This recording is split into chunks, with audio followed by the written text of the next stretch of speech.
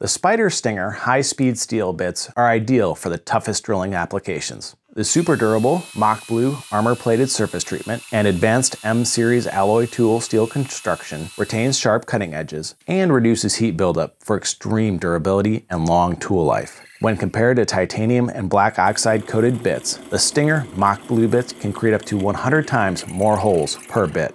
The No Wander 137 degree split point easily starts on curved and hardened surfaces, and the bit can drill up to 8 times faster than the competition. Each bit has an impact rated quarter inch speed hex that won't slip in the chuck and fits quick change impacting drivers. The made in the USA Spyder Stinger Mach Blue drill bits provide extreme durability when drilling steel, stainless steel, hardened alloys, and stacked materials.